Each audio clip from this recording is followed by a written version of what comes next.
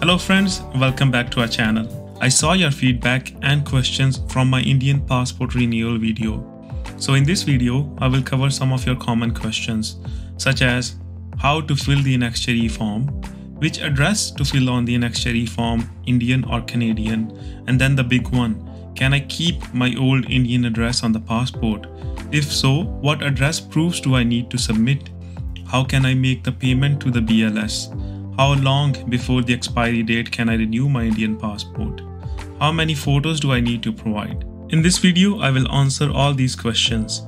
So hit the bell icon to subscribe and let's get started. So now we have the annexure form on the screen.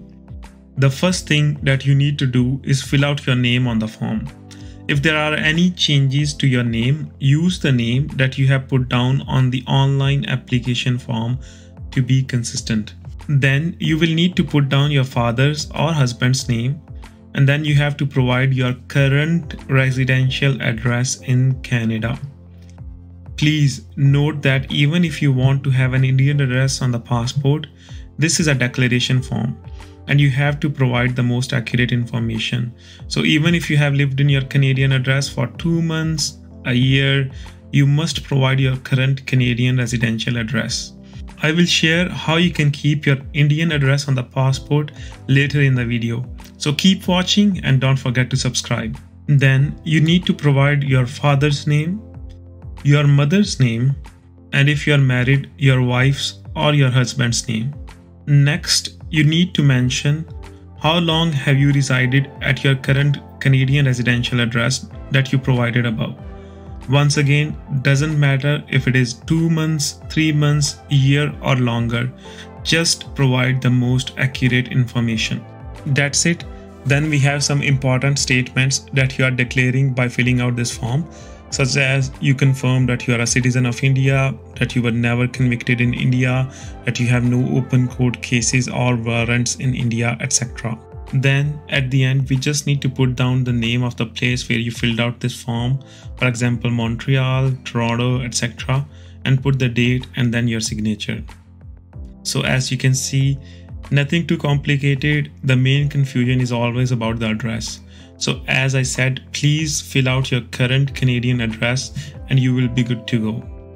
I actually filled out my form at the counter at the BLS center.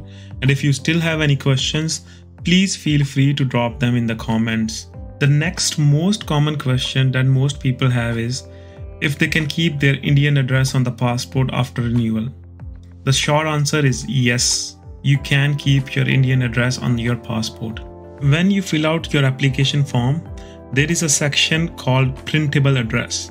You need to ensure that you fill out your Indian address in this section as any address mentioned here will be verified by police and will then be printed on the passport. Your Canadian address will go in the other address details section. Make sure that any Indian address you submit is of your family, relatives or friends as it will be verified by Indian police station closest to that address. Anyone residing on that address will need to have proof showing their relationship with you. And also, please share your IDs and passport copies with your family, friends, or relatives in India to have them handy before the police verification. Now, the next question is what address proofs do you need? As per BLS Toronto, you will need these address proofs for your Indian and Canadian addresses. The information shown here is from the PDF FAQ file from the BLS Toronto. I have added a link to this file in the video description. Please review it and trust me, it will be very helpful for you. The next most common question is how can you pay BLS or what payment methods are accepted by the BLS? The answer depends on your application method. If you are applying in person, that is walk in, then the method of payment is via debit card or cash.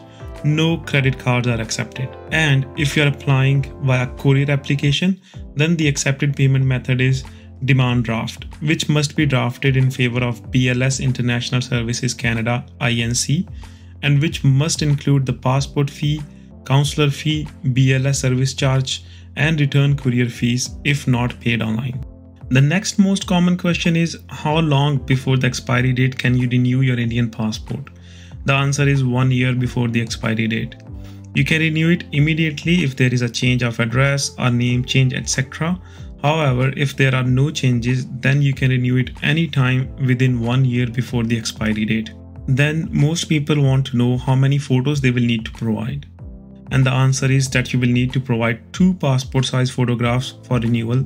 I will drop the link to photograph specification in video description for your reference. If you are applying in person and you don't have any photographs beforehand, not an issue. BLS centers usually offer this service to click your pictures on site for a small fee. I didn't carry my passport photos with me and had them taken at the BLS center. So that's it for this video. I hope you found it informative and helpful. If you have any questions or comments, please leave them below and I will try to answer them as soon as possible. If you like this video, please give it a thumbs up and share it with your friends who might be interested and don't forget to subscribe to our channel. Thanks for watching and see you in the next video.